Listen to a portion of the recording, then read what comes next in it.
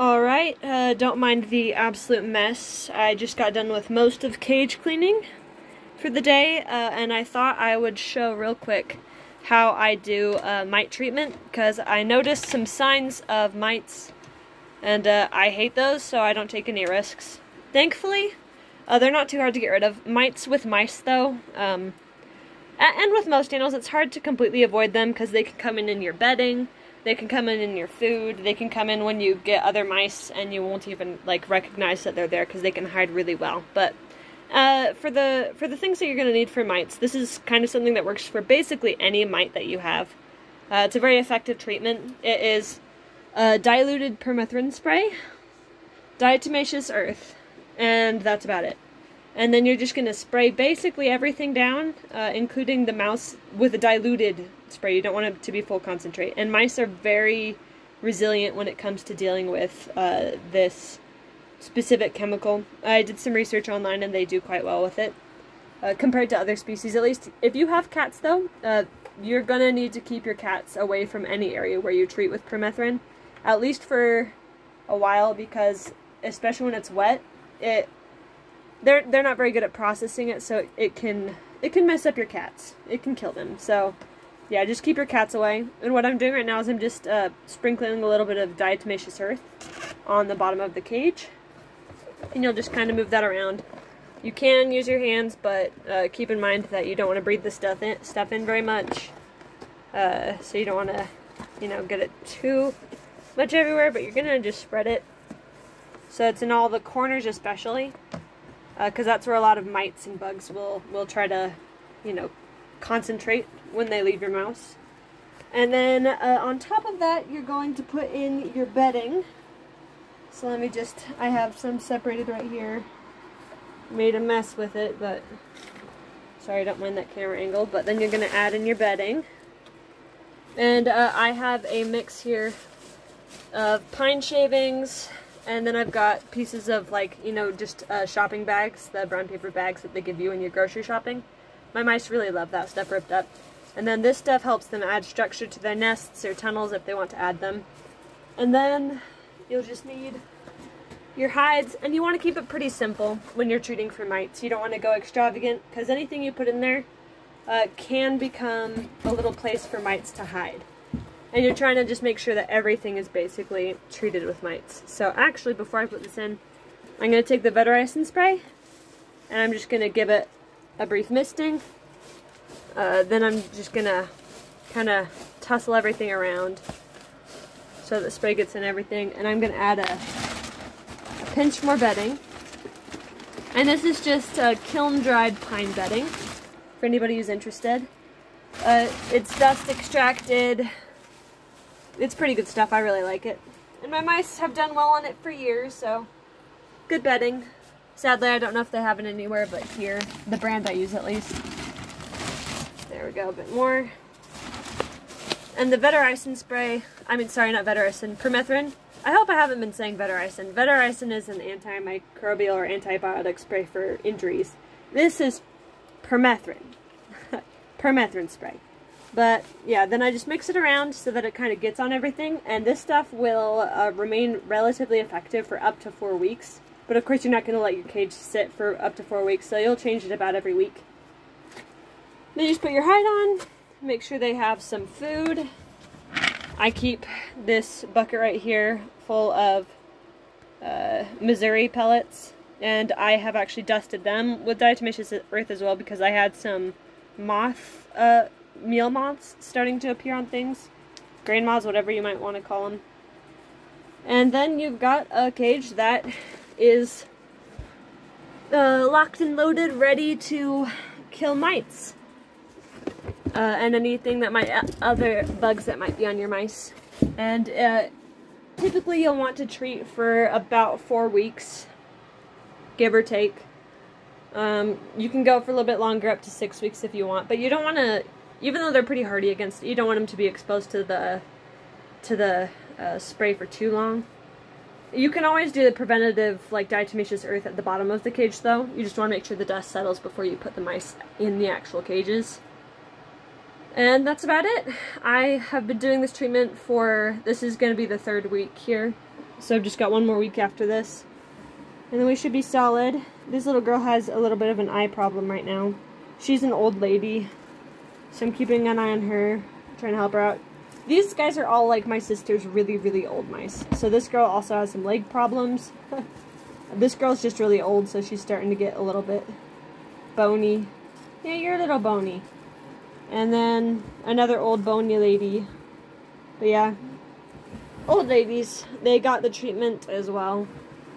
Then here we have a lady with a litter. I didn't actually uh, directly spray the babies or her. This cage was treated like a week ago, so it's still effective though. And I like spray the corner of it.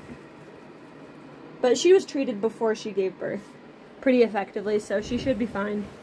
Some more babies that were just treated, and I actually directly spray all of the mice as well before I put them in. Uh, just to kill off any mites that are walking on them. There we go. And right now, what I'm doing is going to be putting these males into these cages right here. Normally they have like wheels and other fun things to play with, but... And I normally have like a little playground set up on top of this thing, but... No playground for now, because that would be too too much of a concern when it comes to treating mites. Yeah, when we're treating mice, we can't do as many fun things, sadly. Go. Here's another boy. This boy's a bit younger. He's one of the ones that I noticed mites on. Yeah, he's kind of scruffy. It's part of what clued me off to it, but I've been keeping an eye on him, you know, uh, moving his fur like this. You see that right there? That right there is... Oh, yeah, I can't see it anymore, but that right there is one of the mites, which shows me that we're not quite out of the woods yet. I don't know why this boy was a magnet for them, but he was a magnet for them. And as I said, you're going to want to do the treatment for four weeks because the eggs aren't going to be as affected. So any eggs that were laid on your mice or in the bedding are still going to be there for a good long while. This boy actually had quite a few. Now, I think that one right there might be one of the only mites I see on him right now. So the fact that I can see it though is not the best. Yeah, and the reason that I'm doing such a rigorous treatment is because these are what I believe are tropical red mites or tropical rat mites. I think they've been called either one. And they are pretty uh, vigorous, pretty intense, pretty tough to get rid of. So we are crushing uh, these guys with the treatment. All of these cages have already been treated. And the hope is that every single egg that hatches out and every single adult that's in there comes into contact with the Vetericyn and uh, hopefully they all die. Thankfully everybody else, there were a couple mice that were also so showing signs, like this boy actually was showing signs of mites, but he has become very soft and fluffy. He's feeling great, and he's actually also gained some weight. uh, I think one of the reasons I, I didn't notice the mites is because these boys have just been eating a lot. and, uh, you know, slightly chubbier. So they've maintained a good weight. Even though they've been getting chewed on. Hey, bud. This is one of my new baby boys. So he's still pretty small. He's so sweet. And I actually haven't noticed any mite, mites on him before. So, I don't know. They could just be hiding, though. Yeah, they could just be hiding.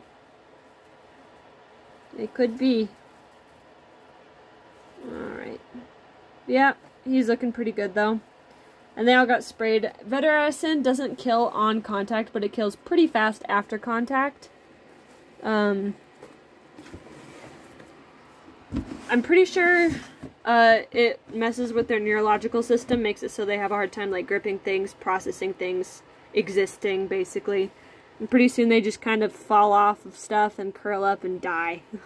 this is another boy that I noticed some mites on um, a little while ago. And he's actually, uh, ever since I've started treatments, become chunkier and a lot more active. So he, he'll, like, do a lot more climbing now than he used to. So, that's great. It makes me feel bad. I didn't notice sooner, but, you know, uh, mites are sneaky. They hide really, really, really, really well. And sometimes it's hard to see them until they become a problem. So, Yeah. Sometimes they do. It doesn't help that these boys are chunky. Like, look at this guy. And, and they're also very fluffy. Chunky, fluffy, soft. Thankfully, though, these, these really light-colored boys that are nearly white made it kind of easy because I was able to look more closely at the coat. Sorry, the, the camera's going crazy because there's not enough light. There we go, that's a little bit better. But yeah, as you can see, if we look really closely at the skin,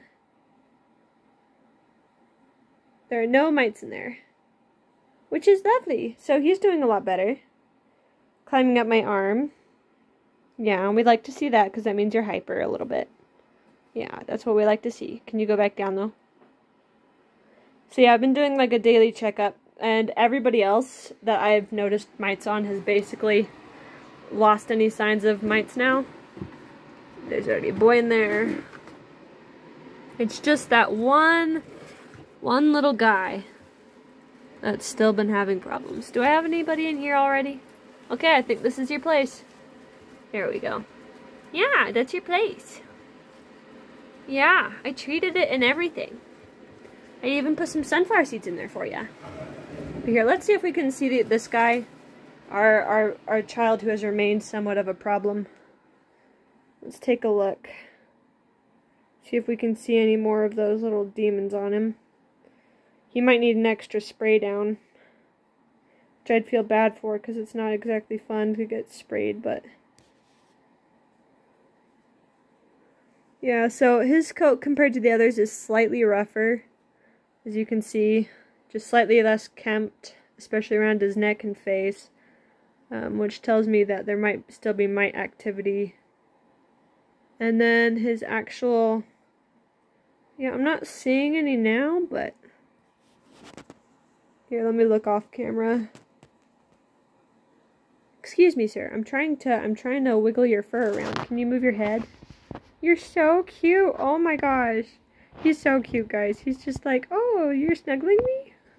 Is that what's happening? No, I'm trying to check you for mites. Turn around. Turn, please. Okay, this is tough, guys. One-handed mite checking is tough.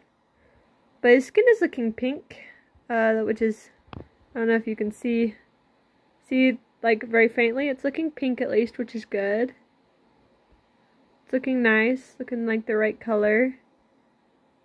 And his energy levels are great. He's very, he's very active, which is great. But based off the fact that I think I might have seen one mite, even though he's starting to look better, I think that he still might have a problem. Squish! Oh yes, I think you might still be a problem. Are you a problem? Yeah, are you a problem? Oh my goodness. Yeah, oh my goodness, you're so silly. You're such a problem. You're such a problem. But we'll solve it. We'll solve that problem. Yes, we will. There will soon be no problem. Such a good boy. Alright, as you can see, I can manhandle these guys, uh, because, well, I bred them that way. That's how I like my mice. I like my mice to be easy to handle. Yeah, I do. I'm sorry, bud. You still have to be surrounded by, by nasty chemicals for a full another two weeks. The struggle is real. But yeah, so this whole closet basically got sprayed down. See, big mess. I accidentally spilled right there. Um, but I sprayed the walls. You can kind of see the, the, the marks from where I sprayed. I sprayed the corners of the walls. I sprayed a lot of my stuff in here. I actually took a lot of stuff out. You can see it's basically empty. Um, I sprayed inside my bedding bag. sprayed the trash can. Uh, I put diatomaceous earth in my feed and my sunflower seeds. This is the lid to the ladies' cage in the other room. They're all in here right now, so they're not in the fun cage, but I have a 40 gallon in the other room that also got sprayed down, and I took the wooden lid and sprayed it down and put it in here so that wasn't near the cats. Uh, but yeah, so it's kind of a full-on treatment right now, and it's a little crazy. Uh, it's really annoying. I hate mites. Uh, I think that most people who keep large amount of animals hate pests and, and parasites. They're just the absolute worst. But uh, thankfully, there is something that can be done, and thankfully, so far the treatment seems to be working.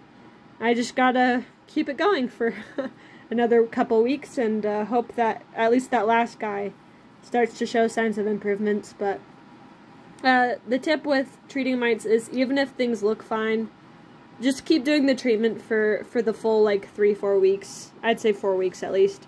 Because the eggs, for one, can last a lot longer than uh, you'd think. And mites can kind of hide and, and avoid things. And live for a good long while without a host, so, you know, they could be uh, around the, the room itself and, and you don't even know it, so just keep on doing that treatment and uh, hopefully by the end of it you'll actually uh, be mite free. And that's my hope because I want to actually bring in some new mice here. Uh, it's been a little over a year since I last brought in new mice, so I'm going to be getting like four to six new ones to add, but I want to make sure that the rest of my colony is solid, golden, happy, healthy before I bring in any new mice, so we're on our way though. And, and then I'll finally feel uh, morally confident bringing home new animals. But that's all for now. Uh, thanks for watching. Hopefully uh, this helps give you some ideas for actual treatment. And, oh, actually one other thing to show you. That's my mouse closet closed up, but don't mind the other messes. We're still in the process of cleaning right now, as you can see. Uh, but I thought I'd show you the front of the bottle I use. So this is the, the permethrin I use as you can see, kills a lot of different stuff. This is 13% concentration. I usually just dump in like, uh, I don't know, like one, two tablespoons into half of the spray bottle full. So it's diluted down to like two or three, maybe 5% permethrin, usually less than five. I'd say two to 3% permethrin uh, instead of 13%. And then I just spray that. And stronger would probably kill faster, but I don't really want to subject my mice to that, so instead I do a little bit less for longer. But anyways, there's the spray I use so that you know. So just that and diatomaceous earth are your best friends, and uh, I wish you luck. Ta-ta!